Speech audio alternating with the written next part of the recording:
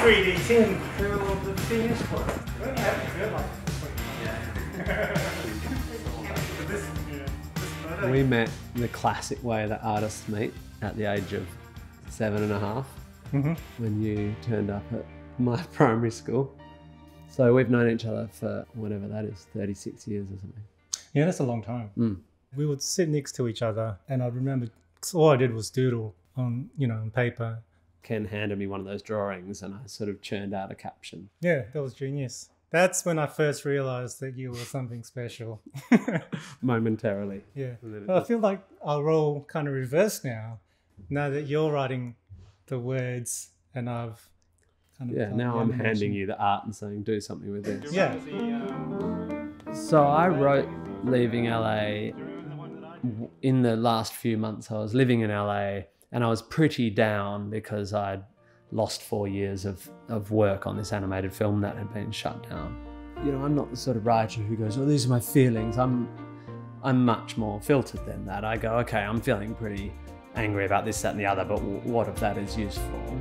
Mostly, though, I'm trying to find the things that I go, what would make an interesting song about this experience? No. One of the very few positive things to come out of my social media addiction is that I started seeing Ken producing these incredible animations and stop motion projects and all sorts of cool stuff. It seemed so obvious, especially because I was I'd written a song about leaving a town where I'd been directing animation, and suddenly there was this old friend doing much much cooler stuff than I was ever involved in. I was surprised when you'd asked me though, because I'd only been doing very short animations. And even though, I mean, five minutes doesn't sound like a long time, right? I sent Ken the song, and he said he'd like he liked it, um, and and it's quite a long song. It's even long for a song. It's long and it's very specific and Yeah. verbose. It's yes, very like, Tim Minchin. Like all my songs, it's got words, and it's it's not like you can just go. Oh, I guess it's just images. It's very didactic, you know. And we sat down and we were we had a conversation about two dimensionality and how I thought. Hmm. I think we agreed that the idea of this this sign that's so famous is such a great metaphor for Hollywood in that it's something people travel to see this sign and it turns out to just be this sort of slightly disappointing two-dimensional thing and how that can be used as a sardonic representation of the town in general. And so we're talking about making something where there'd be a two-dimensional me who's trying to get his three-dimensionality back. Yeah, that's right. I remember one of the first images you sent me was taken from the back of the Hollywood sign. Yeah. And you just see all the Scaff. unglamorous scaffolding and just the bits of And bits that are holding towers. it together.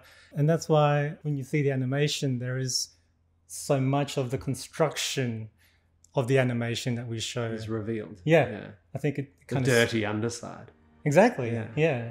This whole world that you get put into is flimsy, Yeah. flat. And if you just get a peek around the corner, you realise that it's sort Yeah. of sorted. So the big mistake you made is when well, mistake. I, I, I I'm going to do a zoetrope version of this song, and you thought it'll take six months, right? Six months, yeah. I thought it would That's be two you- birds with one stone, right? Yeah, you thought I get to follow this passion for zoetropes that I'm developing, and I'll deliver this thing to Tim, and it will cost a bit and take six Cost months, and we'll, we'll get it done. And don't have to do the tedious thing of, of doing a stop motion. That's We'll right, do because it spins instead. itself. It animates itself. So how long did it take Oh, from that meeting to now today? probably a year. We've done everything that you would normally do in stop motion and arranged it all around the disc. the hilarious thing about this form that Ken's kind of thrust into a whole new level is that in order to try and make someone look like they're moving, first you film them moving and then you cut it up into pieces. Oh, yeah. It's you- you- ridiculous, it's right? a- like the people who invented zoetropes were trying to get to film. And, Right, and you've got backwards, film yeah. and you're going you're you're pulling the film so you know you got me animated singing that's the accuracy of your stop motion in the car Hmm. to do that you film me singing Yeah, at 24 frames a second then you get each frame and cut it up and then reanimate it it's it's really stupid It's really stupid. it's a yeah. re- it's like Thank the- you. it's like a massive waste of time it's like digging a hole and filling it in again and then digging it out again It sounds like a waste of time, but you can't fake No. that sort of stuff. It would have been much easier just to do that in After Effects. Just take a, a No. still of the car and just put some paper texture on you and don't even worry about printing and cutting it out. no But then you don't see the edge no of the paper. You don't see the misprint from the printer. You know, you don't see all the tactile. yeah And then you And wouldn't can't think put me in a toy car either i mean you you, wouldn't think of putting in a toy car, and then you wouldn't think to go from a different angle from the car to show that your band Yeah. members are just pieces of paper flapping around. Yeah. My greatest fear is that people are going to think there's some trickery in this movie. But but there's no it's mechanical. It is hmm. utterly analog except for the capture of it which is all on iPhone. You can explain the maths behind it. You can you can understand. I mean, I don't understand it in my head why it works, but when I turn it on and I look at it through camera, I'm you still immediately like I'm still back to the first time I saw because your brain isn't doing maths. It's tricking you into it's something coming to life.